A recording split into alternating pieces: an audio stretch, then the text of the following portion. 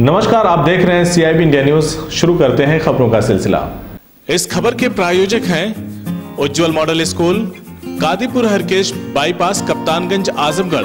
अपने बच्चों के बेहतर भविष्य के लिए आज ही उनका एडमिशन उज्जवल मॉडल स्कूल में कराएँ। क्या आपने सुना है कि कोई इंसान मरने के बाद ज़िंदा हो सकता है? क्या कोई इंसान परलोक से लौट सकता है? नहीं हो रहा है ना यकीन अपने आप पर पर यह सच है अलीगढ़ के अतरौली कस्बे के किरथला गाँव का रामकिशोर मरने के बाद ज़िंदा हो गया। कई घंटों बाद वापस लौटी उसकी सांस से पूरा गाँव हैरान है। अलीगढ़ के अतरौली इलाके के किरथला गाँव में कुछ दिन पहले राम किशोर नाम के व्यक्ति की अचानक मौत हो गई। इसको लेकर पूरे परिवार में मातम छा गया। लेकिन उसके कुछ घंटे बाद ही ऐसा हुआ कि जिसने सुना वही अचंभित हो गया। मरने के कुछ घंटे बाद ही रामकिशोर पुनः जीवित हो गया। उसके बाद उसने जो कहानी बताई, उसको सुनकर सभी सन्न हैं। राम किशोर का कहना है कि उसको मरने के बाद कई जटाधारी साधु दिखे और उनके पास बाकायदा धुनी जल रही थी। उनके पास एक रजिस्टर भी था, जिसमें उसका सब लेखा जोखा देखा तो उन्होंने उसको वहाँ से धक्का दे दिया और उसके बाद फिर राम किशोर अपने जीवित होने की बात कहने लगा। वहीं उसकी पत्नी का कहना है कि इनकी तबीयत बिगड़ी और इसके बाद इनको कोई होश नहीं रहा। कुछ घंटों के बाद ये पुनः उठे और बातचीत करने लगे। क्या नाम है आपका? मेरा नाम राम किशोर है। रामेश्वर जी क्या हुआ था? उर्फ़ भूरा सिंह। क्या हुआ था? ये हुआ था कि मैं यहाँ बैठा था खाट पड़ी थी। तो ये व्यक्ति ने बीड़ी दी मैं भाई बीड़ी बात साफ़ था मैं ना पी रहा हूँ। गुटका खाऊँगा मैं तो। अरे ले मल्ले जी मैं ना मैं ले रहा हूँ मैंने भाई मेरी आँखें से अंधा हूँ आँखें से मैं अंधा हूँ वो दिख ना कसू मैंने अपने घर वाली तो मैं अंधा हूँ आँखें से वो दिख रहा ना कसू फिर मुझे पता ना मैं गिर रहा हूँ खाटा पे जब खाटा पे गिर पड़ा हूँ तो मुझे ये पता ना कि मैं यहाँ हूँ कि गाँव में ऊपर पहुंचो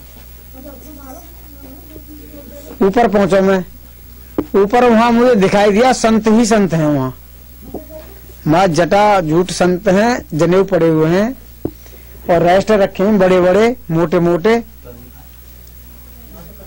तो वहाँ से एक मैन संत जी हैं।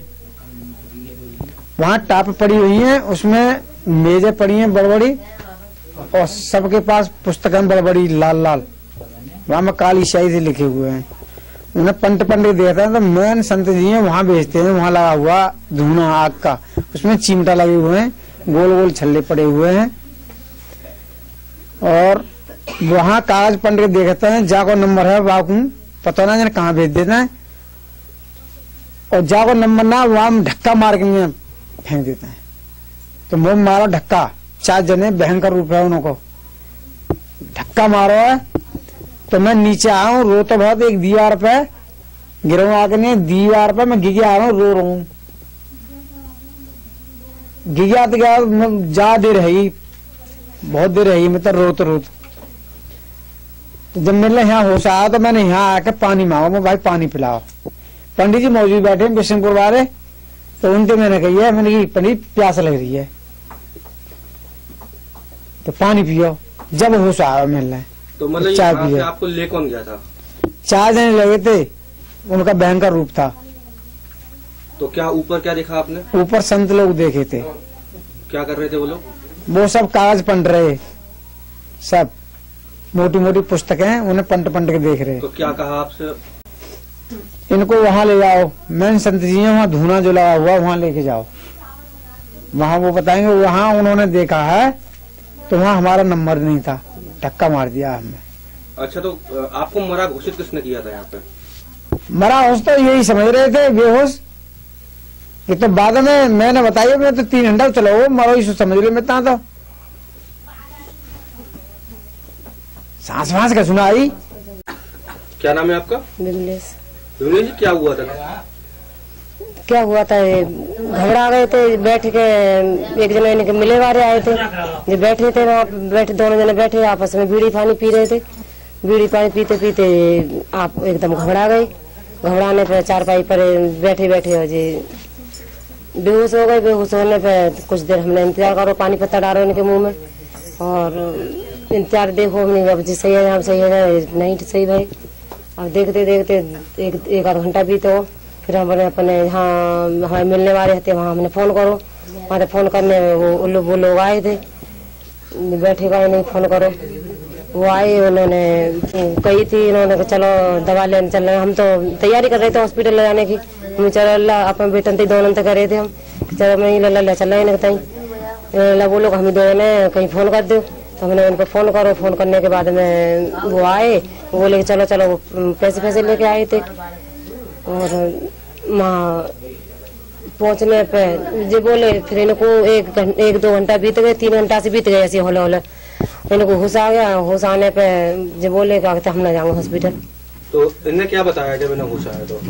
तो इन्होंने यही बताई कि इन्होंने जब आप खत्म ना बताई जब खुद होश आएगा दो तीन दिन बाद हम्म, जब बताइए इन्होंने तो। क्या बताया? कि हमारे मुँह के हमारे हमें तो चार जने ले गए हमारे मुझे मुँह पर टोपा से लगा दो और मैं तो अंदो कर दो और मुँह को चार जने ले गए यहाँ तक। और वहाँ क्या कहते हैं सारे लोग वहाँ बाबा ही बाबा दिख रहे कहीं के अगला धू नहीं है कहीं अगला किताब है। सारे दाढ़ी वाले बता रहे थे ये लोग। क्या नाम है आपका? मेरा नाम छोटेदार शर्मा गाँव बिशनपुर। हाँ तो क्या हुआ था इनको? अच्छा मैं बताऊँगा। जब वो लल्ला ने फ़ोन करो तो हमारे पाइप डरवा रू पानी की तेरी हकीकत में पानी की पाइप डरवा लल्ला बोला, बाबा, मैंने हाँ कि पापा की तबीयत खराब हैगी और तुम जल्दी आ जाओ। कितने देर में आ जाओगे? मैं भैया जा रहा दस मिनट लगे, गाड़ी लेकर अभी आया। तो छोरा हम दोनों जने आए तो देखे यहाँ हालत गंभीर है। कि बच्चे रो रहे, बच्चे समझाई, सम- समझा बताइए हमारे तो कायदा कहते समझाई समझाई के बाद में फिर गिर के खाट पे। बालक बहू रो रही, छोरा की, और मेरे घरवाली दोनों नहीं रो रही। जब मैं समझ आई मैंने ना तो भाई गाड़ी ले चलो। हम बाहर दिखाएँगे ऐसे घर में मरीज़ डाले तो क्या वफादारी है क्या फ़ायदा है तो इस वजह से सब कुछ बहुत देर रहे आए हम बात घुमा रहा है कि चल ले चलेंगे ले चलेंगे। तो गाड़ी फाड़ी का इंतज़ाम कर रहे इन्हें दो- तीन घंटे बाद होश आया फिर तो क्या बताया क्या झट गई एकदम होश आया और रोए मज़ा कुछ नहीं जब। रोए एकदम। यार रोए फिर ना पानी मांगो है। पानी पिलाया है। मैंने कोई सब गुटका फुटका हम प्रेम भाव से गुटका खाओ खाओ, मेरी गुटका खवाया। फिर इनको मतलब बाद में फिर बताया इन्होंने कि मेरे एकदम टोपा से लगा दिया तो अंधे है की। इन्होंने बताया कि चार लोग मुझे देखे, पहले बता आप कि मेजर आए। चार लोग आगे आने पर गेट टोपा से लगा तो फिर कछु नहीं देखो इन्हें। फिर ये भगवान जाने के ऊपर चले गए फिर। तो वहाँ पहुँचे तो वहाँ मोटे मोटे सिद्ध लोग महात्मा से होते हैं ना। तो गिर कई जगह लगी घुमा फिरा तो समझ को वहाँ ले जाओ वहाँ। फिर लास्ट में एक बड्डे बाबा आई सबसे बड़ी जो बुज़ुर्ग होती है तो वहाँ ले पहुँचे इनको वहाँ उन्होंने कागज़ पर पलटे पानी पलटे पलटा बोले अरे यहाँ से ले जाओ भैया यार कहाँ से कौन ले आई? क्या नाम है तुम्हारा? मीनू कुमारी। क्या हुआ तुम्हारे पापा को? हमारे पापा की तबीयत खराब हो गई थी और हमने देखा तो हमारे हमारे पापा सांप बेहोश हो गए थे। तो हमने पूछा पापा क्या हो गया पापा आवाज़ नहीं दे रहे थे हमें। तो हमने कहा मम्मी पापा को क्या हो गया? तो मम्मी क्या- मम्मी बोली पता नहीं। तो हमने कहा मम्मी पापा पापा पापा को ले चलो मम्मी। तो मैं ही चलो। तो ले आने लगे फिर पापा ने मना कर दिया कि मैं नहीं जा रहा। तो ऊपर से जब पापा आए लौट के तो क्या बताया उन्होंने? वो अपने हाथों में कुछ गिन रहे थे। तो हम मुट्ठी बूंद बूंदते थे उनकी। तो ये हाथों में देख के रोते थे अपने क्या नाम है आपका? धर्मेंद्र शर्मा। क्या हुआ था जी? जी रोए रोए थे इनके घर भर में। आदमी भी पहुँच गए थे ठंडे वंडे पड़ गए थे। ये हुआ था। तो गाँव वालों को पता थी कि ये खत्म हुआ? पता थी। पता थी। उसके बाद फिर ये बताते हैं ऊपर गए थे आए तो? हाँ गए थे। चार पाँच घंटे के लिए शांत हो गए थे बिल्कुल। वहीं इस मामले में जब डॉक्टरों से जानने की कोशिश की गई कि किसी व्यक्ति के मरने के बाद जीवित होने की क्या संभावना है तो डॉक्टरों का कहना है कि एक बार किसी की मौत हो जाए तो उसके जीवित होने का कोई मामला नहीं हो सकता।